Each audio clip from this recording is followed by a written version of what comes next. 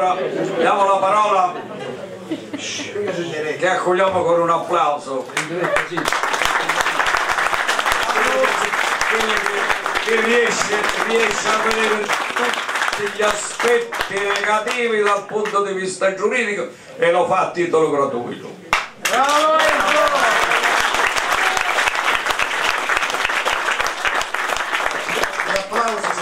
Facili, io gioco in casa, quindi li do per scontati. Io invece stasera voglio farli a voi tutti gli applausi e credo che questa sia la volontà di tutti i presenti. Voglio fare a tutti voi gli applausi perché ci avete fatto sentire orgogliosi di appartenere a delle comunità Rotonde e Vigianello dove forse dovrebbe essere un esempio anche per altri comuni e per altre istituzioni si discute avendo a riferimento l'interesse di chi vive nei comuni. E avete dimostrato stasera, io ho apprezzato molto l'intervento del capogruppo di minoranza Enza di Consoli, avete dimostrato questa sera che quando si ragiona e si ragiona col cuore e si fanno le scelte intelligenti nell'interesse della gente, non c'è e non ci deve essere distinzione di posizioni politiche. Di colore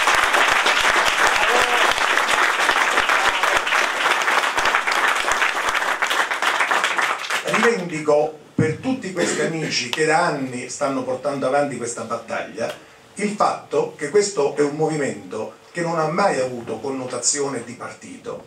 È vero, io per primo ho puntato l'indice e continuerò a farlo nei confronti di determinati soggetti politici, ma questa è una constatazione. È evidente che durante questo lungo cammino noi abbiamo incontrato dei politici che hanno remato contro e dei politici che ci hanno dato una mano. Purtroppo erano quelli che avevano meno potere rispetto ai primi. Questo non significa che il movimento vuole schierarsi da una parte o dall'altra, significa soltanto che il movimento ovviamente valuta criticamente il comportamento di chi fa politica e chi ad oggi ha fatto politica non ha mai avuto a cuore gli interessi di Rotonda e Vigianello, non li ha avuti a cuore certamente rispetto alla problematica di una centrale che è stata qui calata dall'alto. Quando questo progetto è stato presentato, le comunità locali non ne sapevano nulla.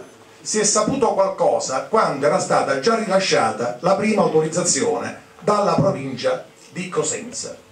Ed è grave perché oltre ad essere irrispettoso del diritto all'autodeterminazione delle collettività, integra una gravissima violazione di legge, perché questo tipo di progetti proprio per l'impatto notevolissimo che hanno sul territorio, esigono il massimo del risalto pubblicitario, del coinvolgimento degli enti locali e delle popolazioni, anche per valutare la ragionevolezza e la compatibilità dell'intervento con lo sviluppo di un territorio. Questo non è accaduto.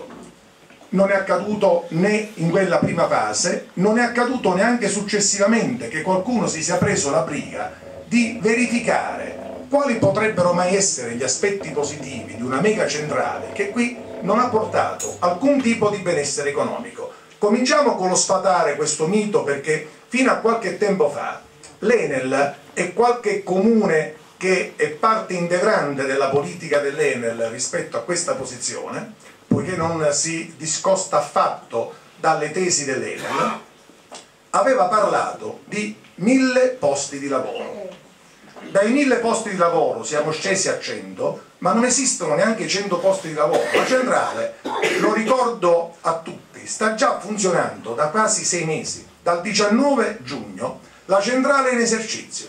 Voi avete visto assunzioni, avete visto la creazione di posti di lavoro nell'indotto.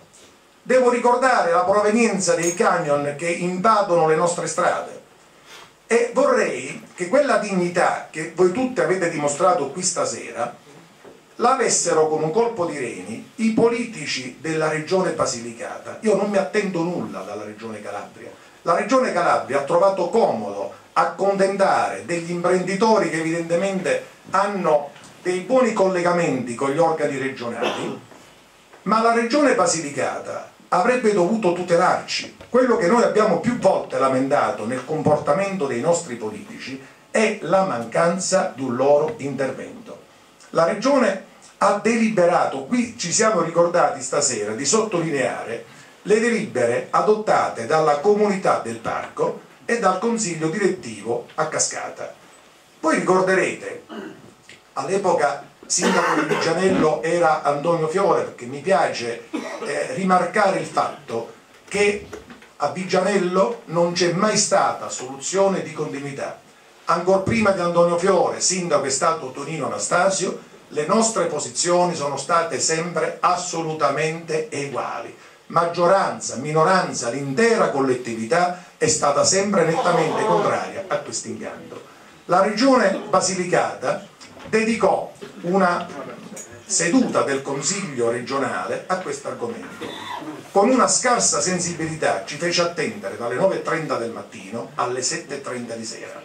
All'epoca presidente della regione era Vito De Filippo attendemmo fino alle sette e mezza di sera per poter discutere di questo argomento. Evidentemente pensavano che la gente si stancasse e andasse via, siamo rimasti tutti, c'era gente anche anziana con dei problemi di salute che è rimasta lì perché non hanno avuto il buon gusto di anticipare la trattazione di questo argomento.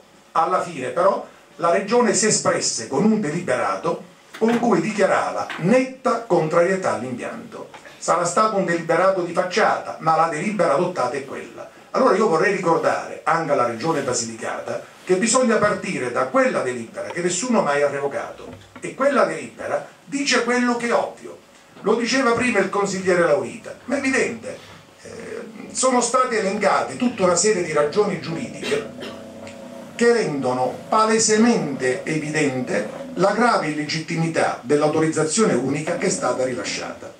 Ma non c'era bisogno di scomodare il diritto, basterebbe appunto un minimo di decenza e di buonsenso per comprendere che in un parco una centrale di quelle dimensioni non ha alcuna compatibilità né ambientale, né industriale, né giuridica, né di impatto sulla salute dei residenti, sulla qualità dell'ambiente e sulla vita nel territorio.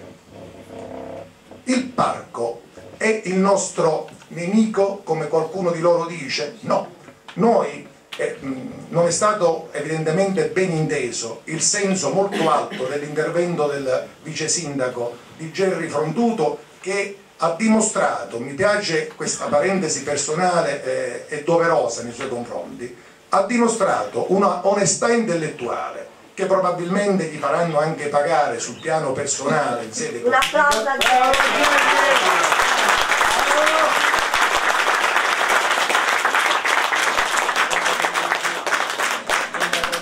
ha dimostrato un'onestà intellettuale da prendere ad esempio, ma come tutti quanti gli amministratori che hanno condotto questa battaglia. Eh, devo fra l'altro ricordare anche con coinvolgimenti personali diretti. Voi ricorderete, chi di voi il 15 novembre si trovava al TAC Danzaro per l'udienza ultima della causa eh, contro Enel, eh, Regione Calabria ed Ente Parco, tutti assieme appassionatamente, ricorderete che un funzionario dell'Enel, peraltro uno di quelli solitamente più tranquillo, quello più presentabile fra quelli che vengono normalmente a rappresentare le ragioni dell'Enel, evidentemente irretito dall'andamento dell'udienza ha aggredito il sindaco Corraro, spingendolo, spingendolo e mandandolo plagalmente a quel paese. Ci sono tra l'altro dei filmati, quindi quello che dico è facilmente dimostrabile. Noi non abbiamo nulla contro l'ente parco, al contrario la proposta fatta dal vice sindaco di Vigianello è proprio nel senso di rimarcare l'interesse che c'è verso un parco, l'amore direi che c'è da parte di queste collettività verso il parco e che purtroppo molte volte in questo paese per affermare qualcosa bisogna fare esattamente il contrario. La sua è una denuncia provocatoria di dire noi vogliamo politicamente uscire dal parco se il parco è questo, se il parco è rappresentato da questi signori che hanno fatto scempio dei valori del parco. Noi siamo qui.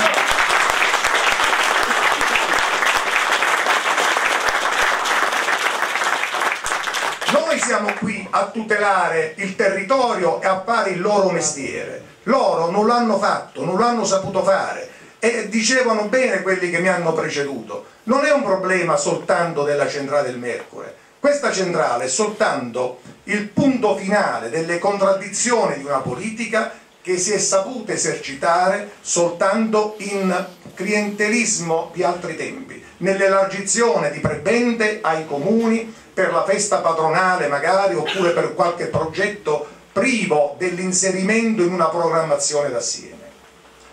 In tutte le zone dove vi sono dei parchi è arrivato il benessere, il reddito medio pro capite è salito, la gente ha tratto benefici economici dal parco. Qui tutto questo non è successo. Qui il parco ad oggi ha significato esclusivamente limiti, vincoli, preoccupazioni di incorrere nelle violazioni più banali e io trovo veramente sconcertante, lo dico ogni volta, quando mi capita di difendere qualche cliente per accuse che in qualche modo vedono l'ente parco come soggetto offeso, ma come è accettabile sul piano morale che c'è gente che va sotto processo perché realizza la tettoia in legno dopo aver atteso magari anni per l'esame di un progetto e poi si consente uno scempio di quel genere che è una minaccia per la salute di noi tutti e per le nostre collettività.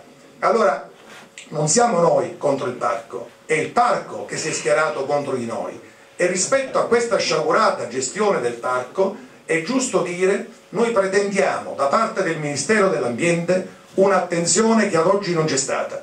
Il Ministero dell'Ambiente deve sapere come viene gestito il parco. Se questa gestione va bene, allora lo dicano e si assumano anche loro le responsabilità, perché per fortuna abbiamo le spalle forti, se necessario faremo la voce grossa qui, la faremo a Potenza, la faremo a Roma, la andremo a fare a Bruxelles.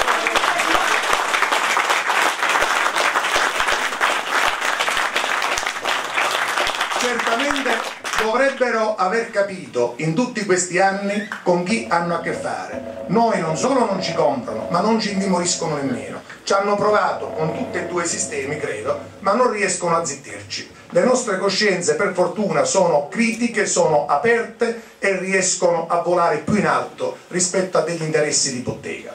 Io vorrei soltanto evidenziare a conclusione di questo mio intervento e credo che si possa fare un po' sintesi fra quello che ho sentito da parte dei vari politici che sono intervenuti nella precedente discussione che si possa consentire un maggior approfondimento di questa tematica anche per l'urgenza necessariamente imposta dai tempi e quindi un aggiornamento di questo Consiglio Comunale congiunto in prosecuzione dei lavori per tutti gli approfondimenti ritenuti opportuni anche per calendizzare tutta una serie di iniziative che credo sia opportuno fare.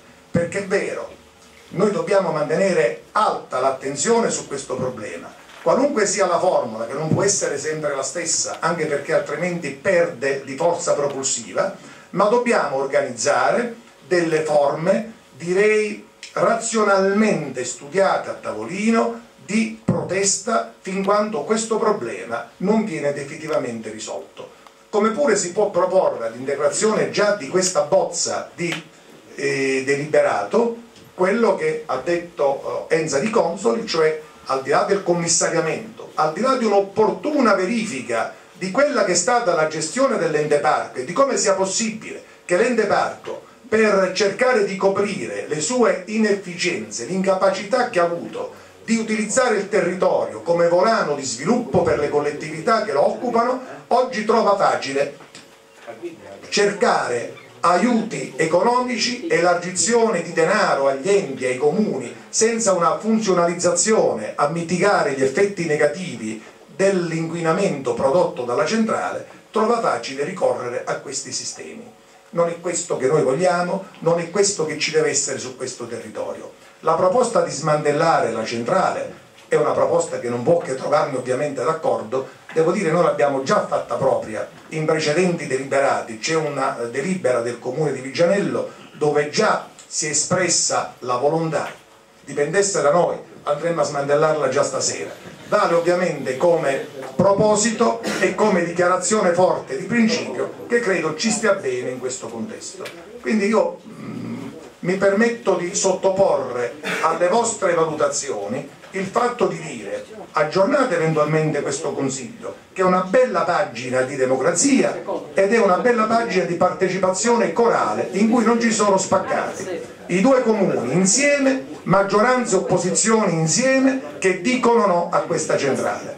Per approfondire questa tematica, per apportare elementi nuovi, non solo sul tema, ma anche sulle proposte che si intendono elaborare per far sì che questa centrale venga smantellata, e anche per meglio formulare il deliberato finale da mandare a tutti i soggetti politici con i quali dobbiamo confrontarci, credo che possiate valutare l'opportunità di un aggiornamento a breve affinché si possa integrare questo deliberato e si possano apportare ulteriori elementi di studio. Noi vi ringraziamo e vogliamo assieme a voi continuare in questa questione che certamente non finirà a breve, perché qualunque sia l'esito della sentenza davanti al TAR e io ritengo che questo esito possa e debba essere positivo perché l'evidenza delle ragioni giuridiche che noi abbiamo portato davanti al TAR sono tanti e tali, io ho scritto testualmente che sono dei motivi di legittimità esagerati